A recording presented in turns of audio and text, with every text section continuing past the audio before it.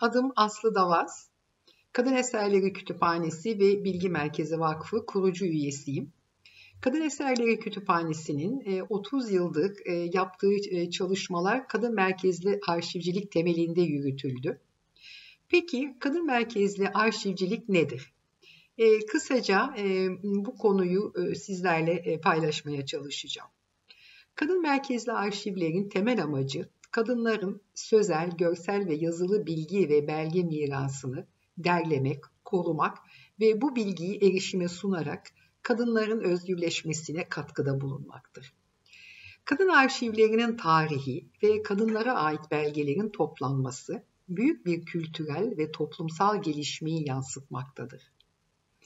Belge üretme ve arşiv düzenleme eylemi güçlü, yaratıcı bir eylemdir ve kadınlar her iki süreci de kendi kimliklerini geliştirmek için kullanmıştır.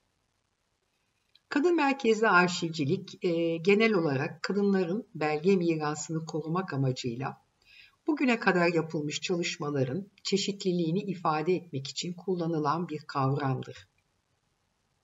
Aynı zamanda kadınların kendi tarihlerine sahip çıkabilmeleri için gerek duydukları birinci kaynakların sağlanması amacı etrafında yürütülen çalışmaların bütünlüğünü ifade eder. Kadın merkezli arşivcilik çalışmalarıyla arşiv kurumlarında kadınların eksik ve yetersiz temsili konusunda farkındalık oluşması ve bu eksikliğin giderilmesi yönünde adımların atılması sağlanmıştır. Kadın merkezli arşivcilik yaklaşımıyla bugün iki alanda önemli başarılar elde edildi. Bunlardan ilki kadınlarla ilgili birinci kaynakları barındıran arşiv merkezlerinin kurulması ve geliştirilmesi.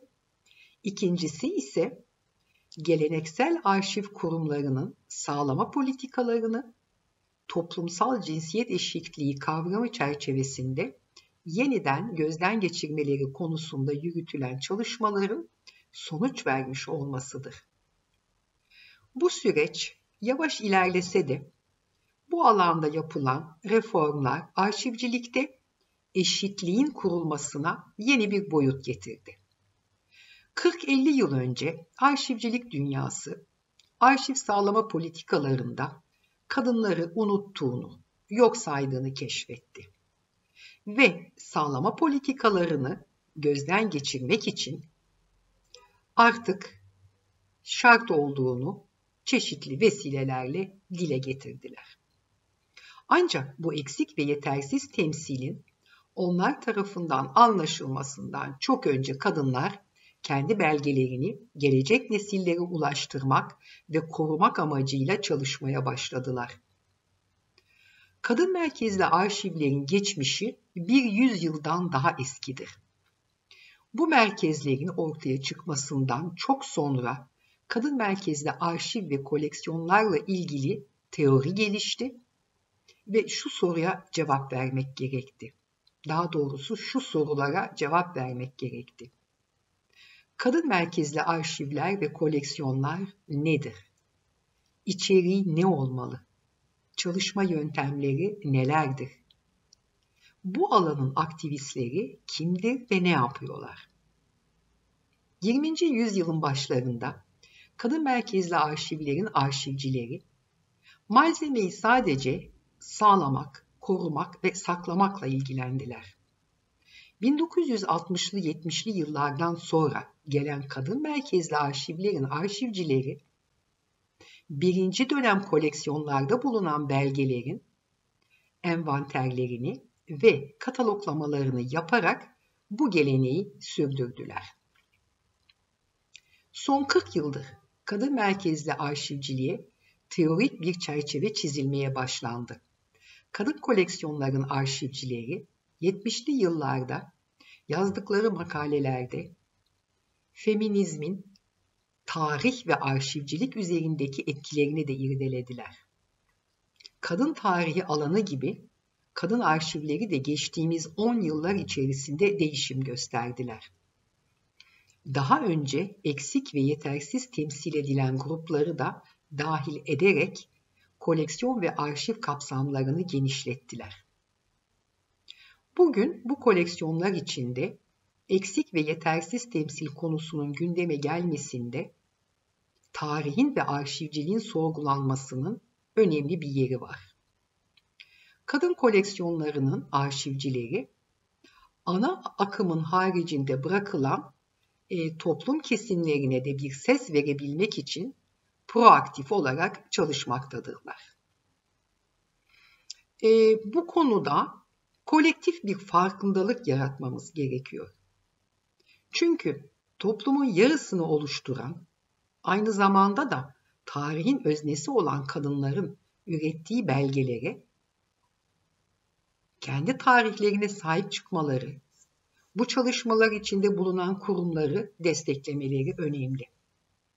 Aktivizm geçmişten bu yana her zaman kadın arşivlerinde önemli bir yere sahip oldu. Artık bu alanda aktivistleri çoğaldı ve aktif olarak belge sağlama çalışması yürütüyorlar.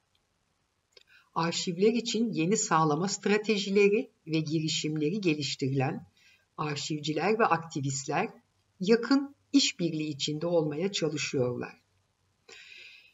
Bu belgelerin sadece toplanması değil, aynı zamanda korunması konusunda da ne yapabileceğimizi soruyoruz.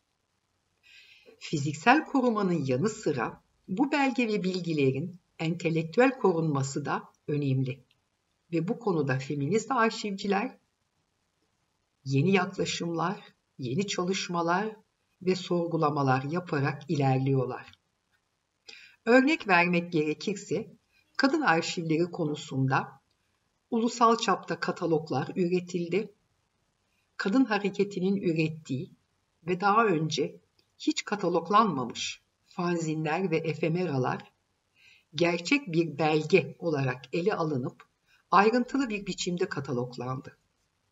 Böylece yeni kaynaklar, yeni bilgiler dolaşıma girmiş oluyor. Açıklamalı kataloglar da bu alanın yeni yöntemlerinden biri.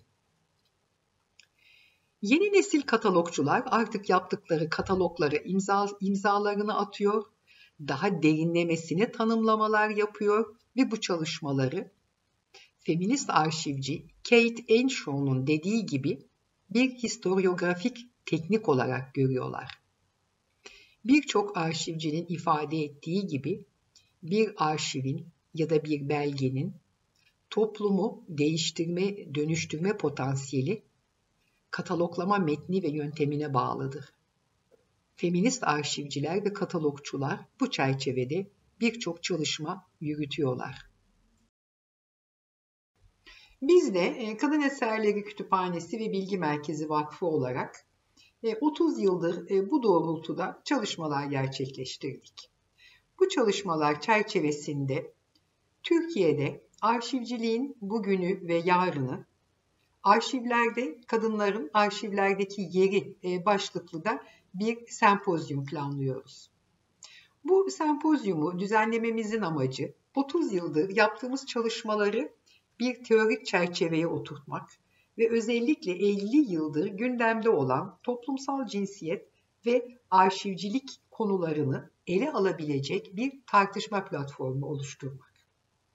30 30. E, yılımızı bu konuda kutlamak, e, vakfın yaptığı önemli çalışmaları daha net bir şekilde ortaya çıkaracak ve özellikle Türkiye'de arşivcilik dünyasıyla böyle bir platformda e, tanışması sağlanacaktır. Beykoz Üniversitesi ile birlikte Kasım 2020'de e, yapmayı planlıyorduk.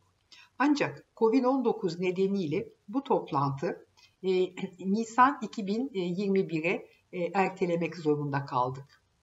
Toplumsal cinsiyet ve arşivcilik dediğimiz zaman kamu ve resmi arşivlerin dışında özellikle 20. yüzyılda toplum kesimlerinin ve en başta biraz önce de altını çizdiğim kadınların eksik ve yetersiz temsili nedeniyle alternatif arşiv merkezleri kuruldu.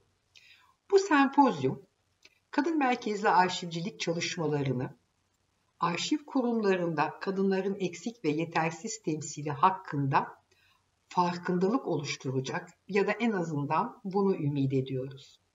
Ve böylece bu eksikliğin giderilmesi yönünde önemli adım, adımların atılmasına da vesile olacaktır.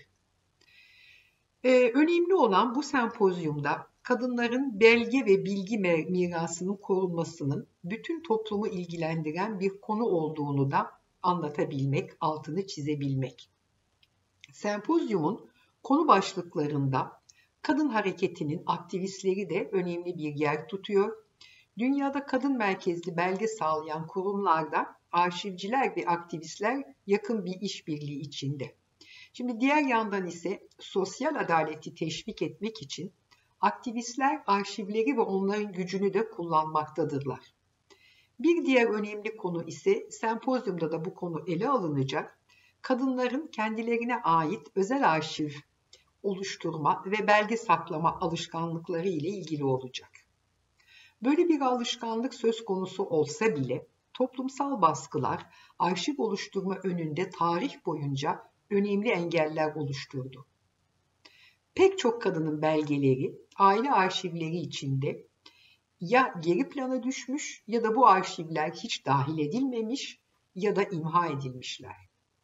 Dolayısıyla arşivcilikte kadınların saklı arşivleri, arşivleri dediğimiz konu da bu şekilde de gündeme getirilecek. Türkiye'de kadın hareketinin belgelendirmeye yaklaşımı nedeniyle arşiv oluşturma geleneğinin tam anlamıyla gelişmemiş olmasının yarattığı eksikler ve boşluklar ve bunlardan doğan sorunlar da tartışılacak. E, aynı oturumda kadın portallarının ve bugün internet üzerinden yapılan kadın odaklı aktivizmin nasıl arşivleneceği de gündeme getirilecek. Arşivsiz kadınların arşivli, e, arşivleri başlığı bölümünde ise yazılı belgelere sahip olmayan kadınlar aile ve akrabalık ilişkilerini, ailelerden kuşaktan kuşağa aktarılan kültürel ritüelleri, hikayeleri, sırları, beslenmeye ve tedaviye ait bilgiler, yemek tarifleri, genellikle hafızaları vasıtasıyla saklar ve aktarırlar. Dolayısıyla bu belleklerin kaybolmaması ve saklanması için feminist araştırmacılar sözlü tarih yöntemini kullanmaktadırlar. Geniş bir yelpazedeki kadınları e, belgelemek ve çeşitlilik içeren koleksiyonlar yaratmak için kadın arşivleri tarihleri korunmayan e, grupların ve öznelerin belgelerini saklamaya devam ediyorlar. Kadın koleksiyonları arşivcileri ana akımın haricinde bırakılan bu toplum kesimlerini yansıtmak için özel çalışmalar yürütmektedirler. Diğer yandan e, bütün bu sağlanan birinci kaynaklara erişim konusu e, toplumsal cinsiyet ve arşivciliğin önemli konularından biri. Çünkü bu belgelerin görünür kılınması, tanıtılma, tanıtılmalarının yapılması, yani kadın tarihi çalışmalarına katkıda bulunmak isteyenlerin erişime kolayca ulaşması için kataloglar ve onları oluşturma yöntemleri de özel bir önem kazanmıştır.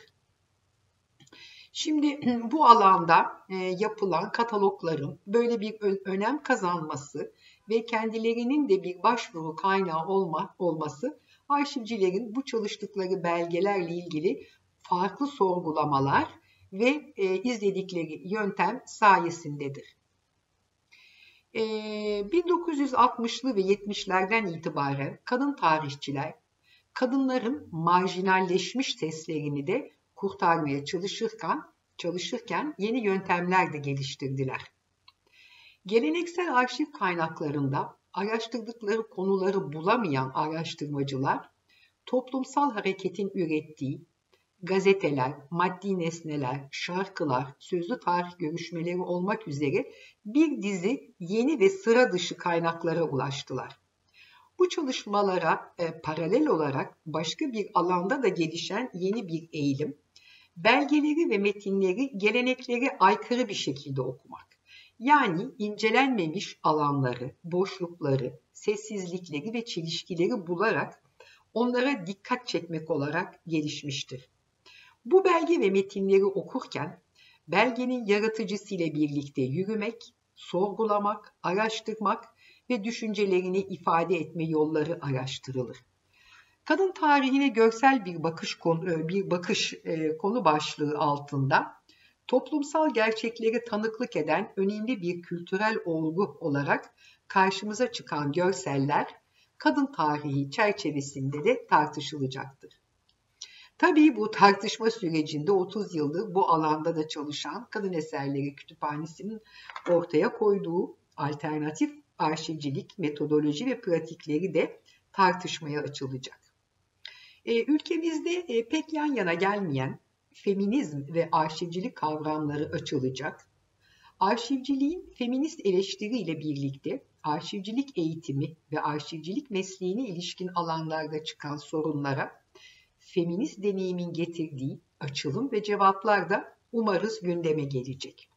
E, bunun dışında Osmanlı Devlet Arşivlerinde kadınlar ve toplumsal cinsiyet ve toplumsal cinsiyet araştırmaları ve arşivciliğin buluşması konuları ele alınacak. Arşivlerin toplumsal cinsiyet öğretimindeki etkisi, feminist uygulamaların bilgiyi üretme, koruma ve yaymanın yeni yöntemlerinin nasıl mümkün kıldığı, feminist bilgi kuramının bir çıktısı olarak toplumsal cinsiyet kavramı ile birlikte toplumsal cinsiyet çalışmalarına da kaynaklık eden arşivlerin kadın tarihine, feminist, entelektüel, politik ve kültürel çalışmalara sağladığı açılım ve erişim, kadınların nasıl öz özgürleşmesine katkıda bulunduğu da tartışılacak. Şimdi aynı zamanda biliyorsunuz toplumsal cinsiyet de arşivcilikten bağımsız bir konu değil. Dolayısıyla bu sempozyumda ikinci bir konu başlığı açıldı. Bu konu başlığı genel arşivcilik konusu. Onun altında ise 30-40 yıldır arşivcilikte tartışılan ve bu alanda birçok kitap ve makale yazılan e, konuları da ön plana almaya çalıştık. E, şimdi sonuç olarak e, sempozyum, bu sempozyumun amacı Türkiye'de arşivciliğin bugünü ve yarını ile ilgili sorunların, konuların yeni yaklaşımların ele alınabileceği bir tartışma platformu yaratmak ve kadınların arşivlerdeki yerini sorgulamak. Türkiye'nin ilk ve tek kadın konulu kütüphane ve arşiv merkezi, Kadın Eserleri Kütüphanesi ve Bilgi Merkezi Vakfı'nın 30 yıllık çalışmalarını arşivcilik dünyasına tanıtmak ve bu alanda dünyadaki e, gelişmeleri paylaşmaktır. Nisan 2021'de yapacağımız bu sempozyumda umarız bir araya gelebiliriz. Ayrıca bugünkü etkinliğe bizleri davet ettiğiniz için en içten teşekkürlerimizi de sunarız.